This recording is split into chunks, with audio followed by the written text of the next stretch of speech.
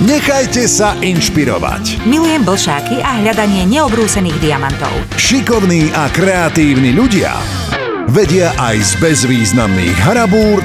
Je úžasné, keď z odpadu vyrobíte niečo krásne.